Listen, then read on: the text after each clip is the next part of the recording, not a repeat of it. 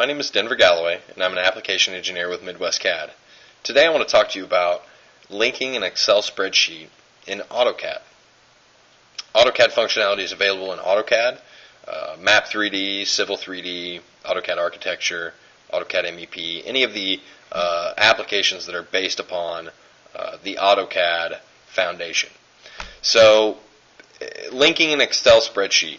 Um, there's a, a, way now to dynamically link um, an Excel spreadsheet where you have bidirectional editing capabilities, uh, meaning that you could edit that uh, that spreadsheet in Excel, you could edit it in AutoCAD, and it's a live link, uh, so you can update the spreadsheet from from from AutoCAD, uh, as well as updating the spreadsheet inside of AutoCAD uh, based upon any edits that might be made uh, in Excel.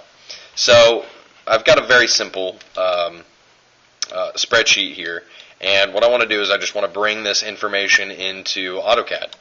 So I'm going to come out to uh, the Insert tab, and inside of my Insert tab, you'll see Linking and Extraction, and I want to use a data link. So I'm going to grab that data link uh, command, and I'm going to create a new Excel data link. So I'll click on that, and I'll name it uh, my table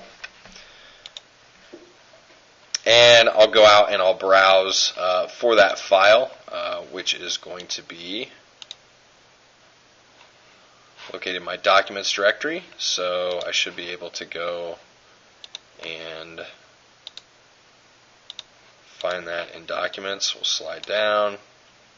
There's the trim. And um, I'm going to link to that first sheet that we see here.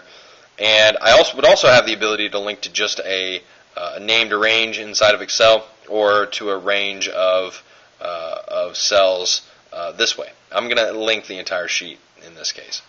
So we'll go ahead and click OK. That, uh, that spreadsheet has been linked and you can see it up here in my Excel links. I'll click OK here and it's linked. Now, I don't see it in the drawing. The reason that I don't see it in the drawing is because I have not created a table from that data link yet. So inside of AutoCAD, uh, if I come to uh, my Annotate tab, uh, I've got the ability to create a table.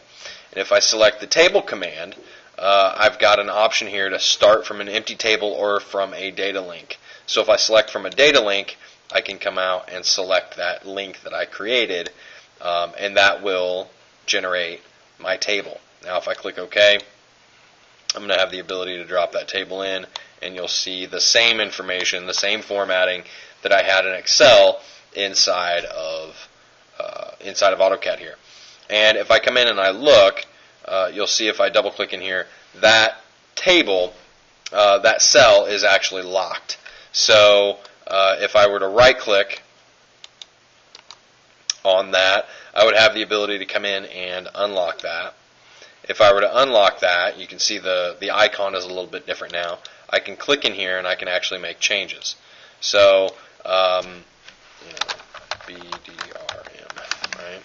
So what I would need to do uh, in this case is go ahead and close out of the document in Excel, and then uh, I would have the ability, if I right-click, I can come down here to um,